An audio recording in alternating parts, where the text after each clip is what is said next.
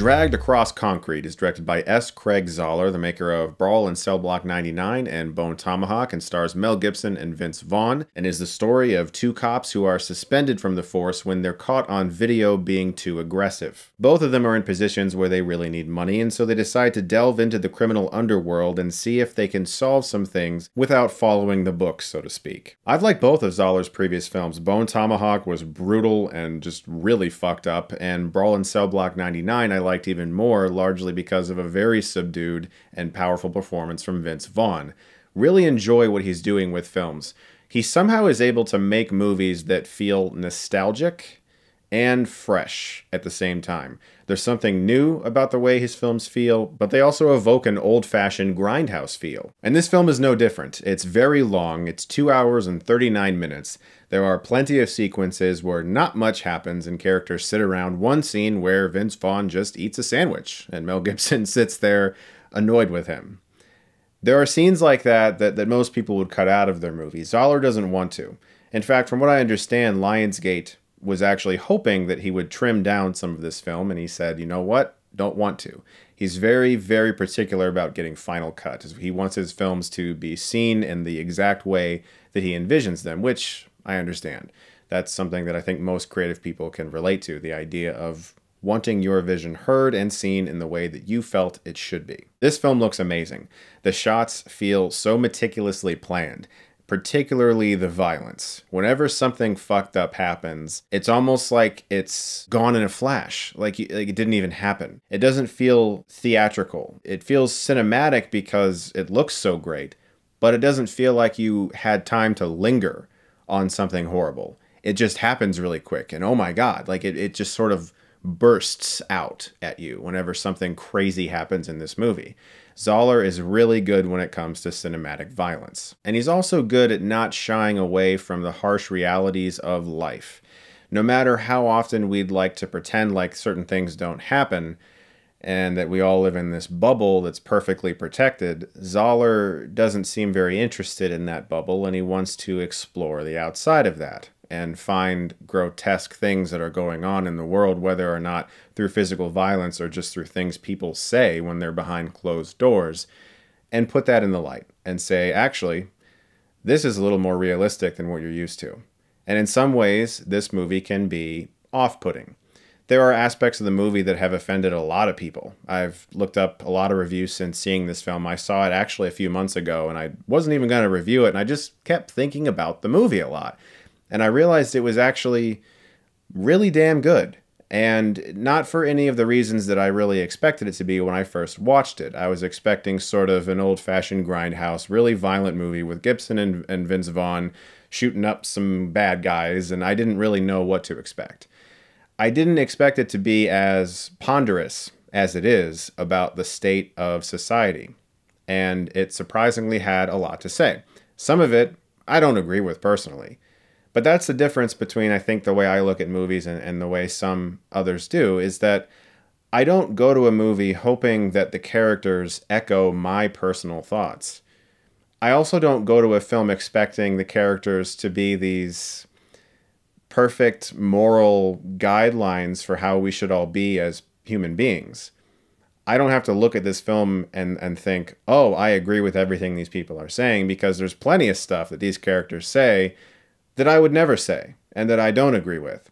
But that's why they're interesting to watch because they're flawed.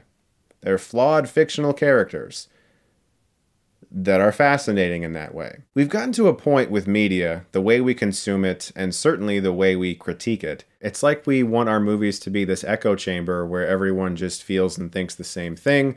You make a good moral decision and you're rewarded for it. You're a good person. You're not going to die a horrible death. That's just never going to happen and we're only going to focus on specific types of violence and make sure that that is the only thing we ever discuss in art, which I think is very damaging to artists. I don't think that an artist should have those types of restrictions.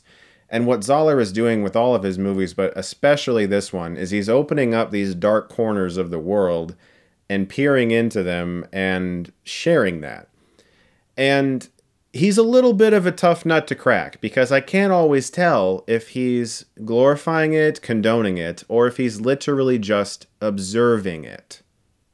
Because obviously he's creating these movies, he's writing them and directing them, and he wants his vision a certain way. It's just fascinating that a movie has flawed characters and that Gibson and Vaughn portray them so well.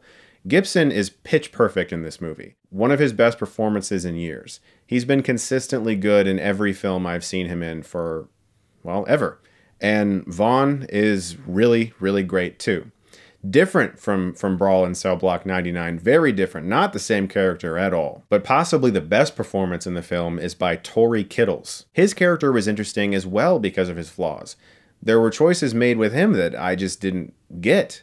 And it wasn't because I, I thought it was a poor writing choice. It was because I'm not used to movies being told this way. We're watching people make complicated choices throughout this narrative that don't always make sense in the moment, but they always make for an interesting choice from a character perspective. I would say my biggest issue with this film is its mammoth gargantuan runtime. Yes, Zahler is an artist, and yes, he wants his vision to be seen, and Lionsgate suggested cutting some time off of it.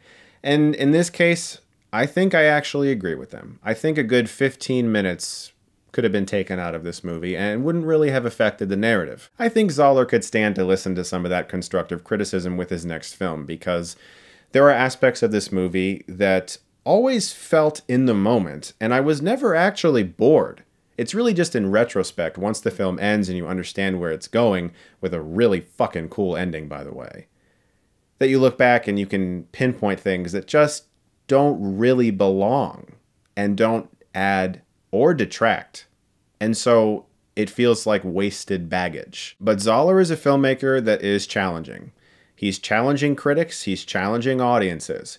And that, to me, is far more interesting than a filmmaker who's going to play it safe. I'm going to give Dragged Across Concrete a B+. plus. The runtime is tough, and there's aspects of the film that are going to offend people to the point where they won't be comfortable watching the movie. But if you want to watch a film that does have flawed characters that you don't necessarily have to agree with, but nevertheless be fascinated watching, then I think Dragged Across Concrete might entertain you.